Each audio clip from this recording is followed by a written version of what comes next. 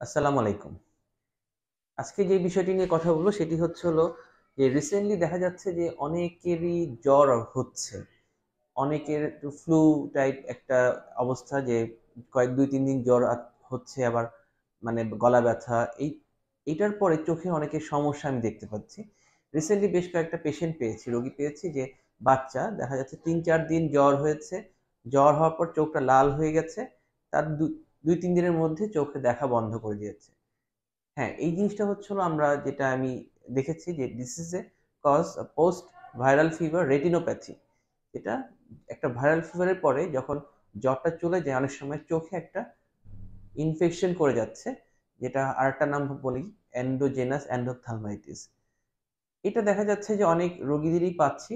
আগে যেমন করোনার সময় কয়েকজন পেশেন্ট পেয়েছিলাম ডেঙ্গুর সময় পেয়েছিলাম, আবার ডেঙ্গু আসছে।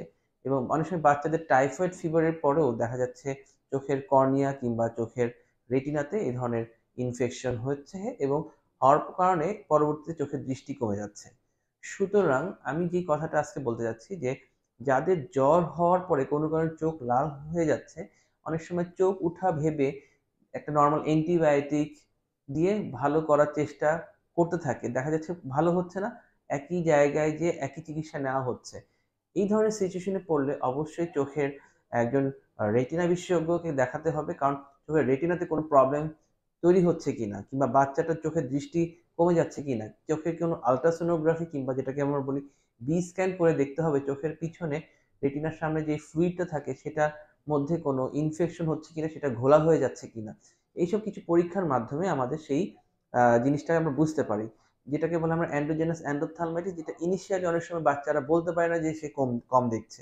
যখন দেখা যাচ্ছে এটা অনেক এক্সট্রিম কন্ডিশনে চলে যাচ্ছে, চোখ লাল হয়ে চোখের সামনে সাদা হয়ে যাচ্ছে, তখন বাবা মারা বুঝতে পারে।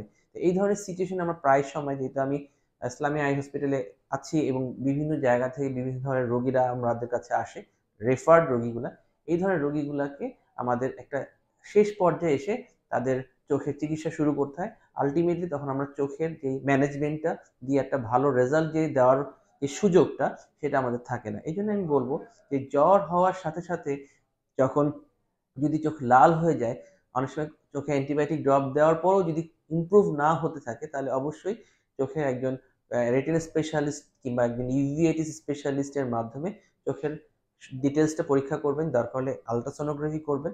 দরকার হলে অন্যান্য কোনো সমস্যা আছে কিনা সেটা ডিটেলস চেক করতে হবে। এটা একটু সচেতনতার জন্য এই ভিডিওটা আমরা আপনাকে আজকে শেয়ার করলাম। যাদের যেহেতু এখন ভাইরাল ফিভার হচ্ছে, আবার করোনা একটা প্রকোপ আসছে, সবাই বলছে। বাট আপনারা একটু সচেতন হবেন। বাচ্চাদের কিন্তু একবার চোখের দৃষ্টি এইভাবে চলে গেলে আর কখনো দৃষ্টি আসে না। এই জন্য আজকের এই ভিডিওটি আশা আশা করি আপনাদের ভিডিওটি ভালো লাগবে। আমি চাই আপনারা এটা সবাইকে শেয়ার করুন।